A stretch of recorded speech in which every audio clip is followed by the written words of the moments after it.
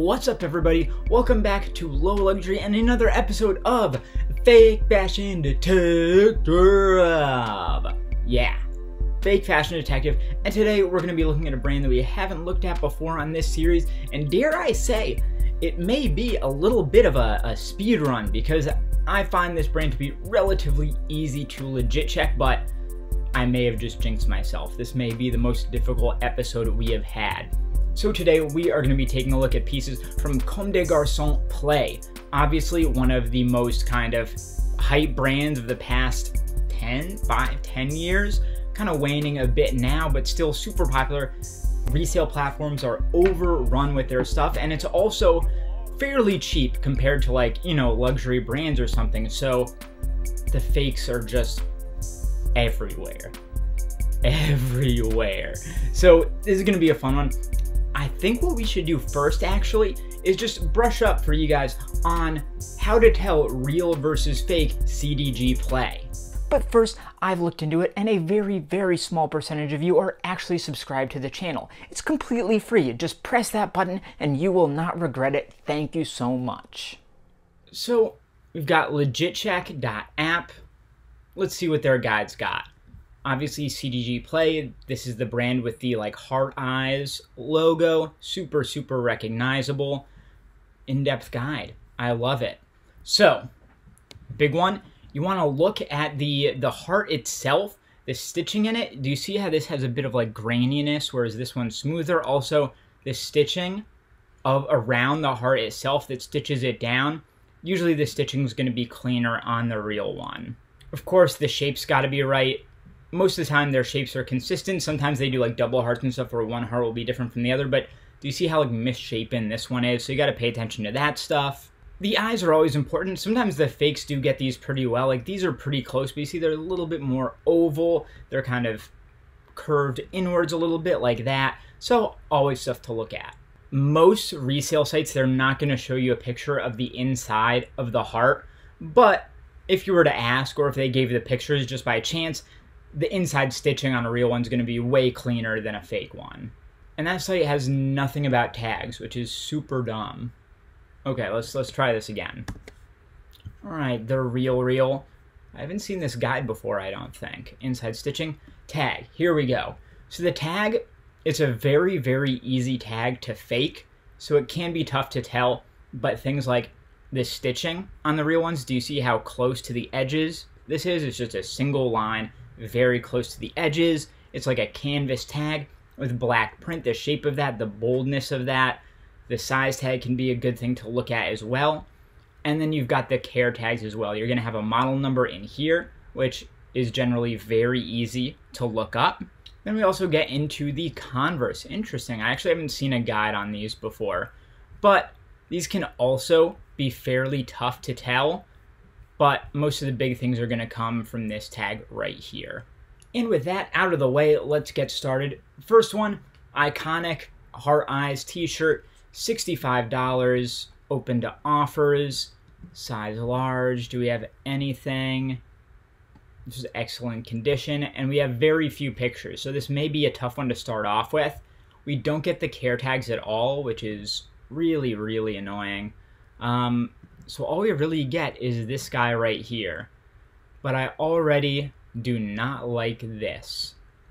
So do you see how, like, it's not far enough over. There's a bit of a curve to the stitch, and it's kind of like pinching the tag on both sides. Um, I haven't seen real ones that do that. Maybe it could have shrunk in the wash but without a model number to go off of, uh, let's look at this placement here. Let's, uh, let's look this guy up. All right, beautiful. Here we go. 83 on Farfetch. See, it like, so even if this was real for a used one, it doesn't seem like a very good deal. But let's see what we got. Okay, so here's the thing. On the real ones, the bottom of the heart is a bit cut and rough, and he seems to be on a bit of an angle like that. And the size, I guess it's hard to tell between sizes because I'm not sure. What, what size is this guy wearing? Model's wearing a size large. Okay, perfect. So that should be the size and the placement. And what do we got?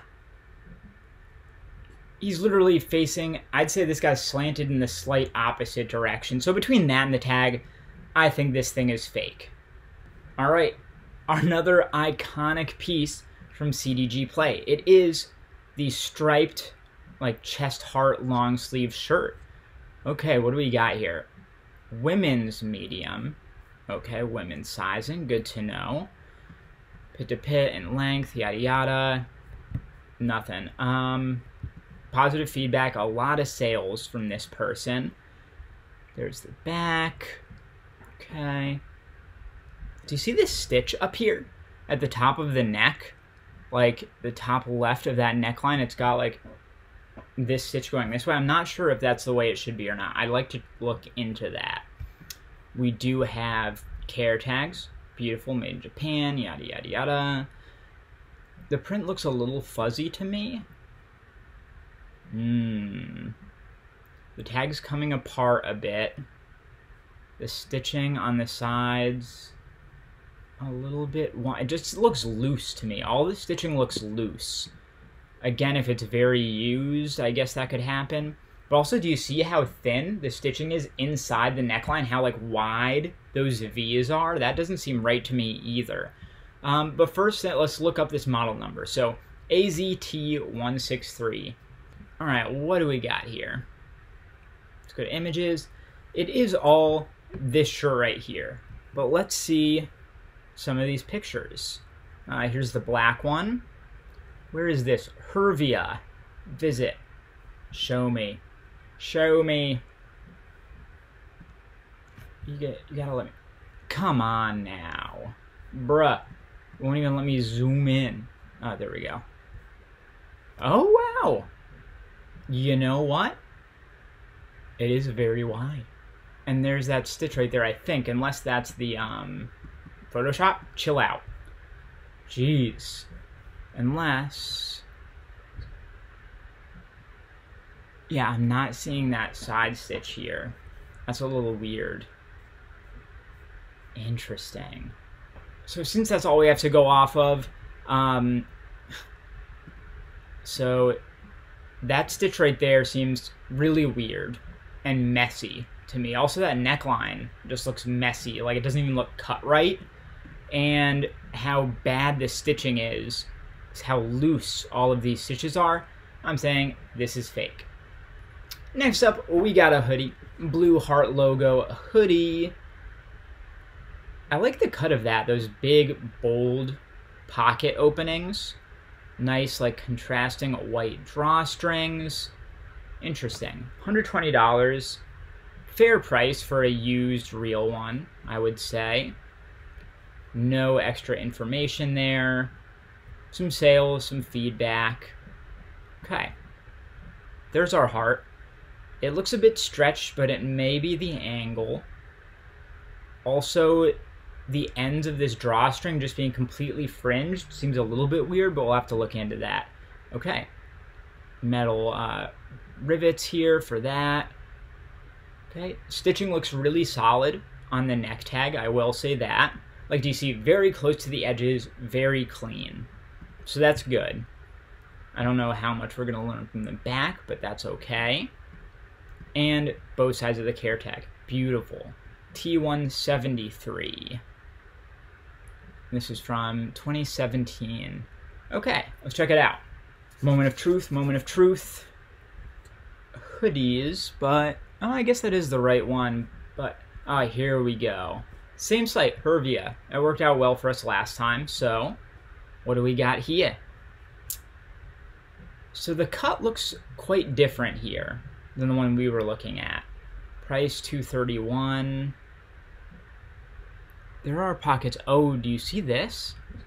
Big, long, curving pockets here. The hood seems much bigger these are supposed to be tied off. And there are pockets. So I think the biggest giveaway here is that curve, right? I think. Let's see. I want to see if there are maybe other older models that didn't have that. So I want to see it on a few more sites, I think. And clothing. Farfetch. let's look at those. Okie dokie. Play hoodie. So this one does not have the curves at all. AZT174, but this is a different model number. So when we were looking at, see, I don't think we can compare to this one. This guy's a zip up, that doesn't help at all, but what's the model number on this? Does it have anything? I don't think it does. No model number, but that's okay. Here we are on END, and now the big question is this also T174? Um, P1T1, oh, 174. Okay, I think we're getting some really good info here, actually. So as far as I can tell, T173 is supposed to have these curving lines that go out from these pockets. Whereas, do you see this? It actually is a line that goes all the way over. And that just does not seem right for this model number. And there's some other stuff that just makes it the the proportions don't look like these other pieces that we were looking at. So I'm gonna say this is fake. Wow. This has been one of the most fake filled episodes we've ever had here. And finally, of course, we had to do it. The CDG Play Converse. $83. The low tops, I would say, are the less desirable ones, the less expensive ones. Um, 83 though is well, they're fairly used. That's a fair price, I'm gonna say. Usually, I'd expect to see them more in the 100 to 130 range. Uh, they usually go for really close to retail, even used, but these are like very used. So I think that's about right. Size 9, they look tiny. Are they women's size 9, or these, does this guy have massive hands? Uh, just men's or women's? Because that alone might do it. Only worn about 10 times. Where does it say if it's men or women? Men. Men size 9? Really, I don't buy that. Especially, like, these fit big, in my experience. Okay, we got the rivets. Yada, yada, yada. Stitching going around. So, man, Photoshop's pissed at me. Ooh. Look at the bleed on that. It looks like they just spray painted it. That looks terrible. That doesn't... None, that print does not seem right to me. That's looking a bit weird. Okay. This sticker also looks weirdly like printed and it's not like on the box all the way. Men's 9, UK 9. I feel like Converse does match those, so that checks out.